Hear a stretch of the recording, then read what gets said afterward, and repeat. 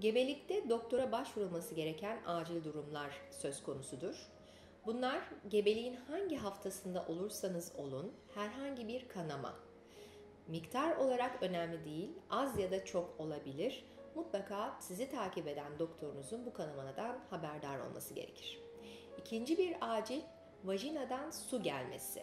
Bebeğe ait içinde bulunduğu sıvının beklemediğimiz bir zamanda gelmesi bebeğin hayatını riske sokabilir ve muhakkak doktorunuzun bundan haberdar olması gerekmektedir.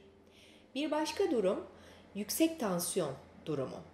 Tansiyonda meydana gelen değişiklikler yine doktorunuzun mutlaka haberi olması gereken durumlardan birisi. Bir başka durum geçmeyen şiddetli baş ağrıları. Böyle bir durumda da lütfen doktorunuza, sizi takip eden doktora haber veriniz. Bir başka durum karnında sertlik, kasılma, arka arkaya gelen ağrılar durumu. Bu da yine e, sizi takip eden doktorunuzun haberdar olması gereken bir başka durum.